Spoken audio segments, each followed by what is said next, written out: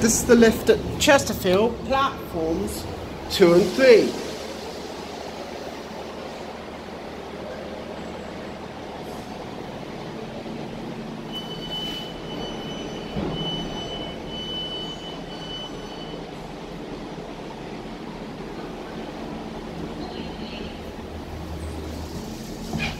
It's an ACE lift. We're going to go up to platform level.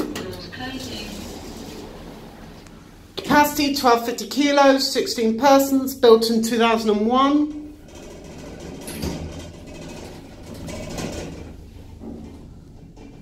Platform. Here at platform level. Doors opening. Go back down to subway level.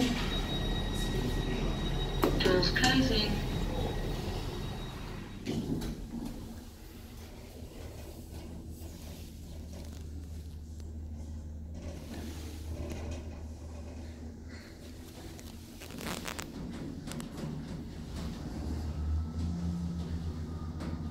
Subway. At subway level.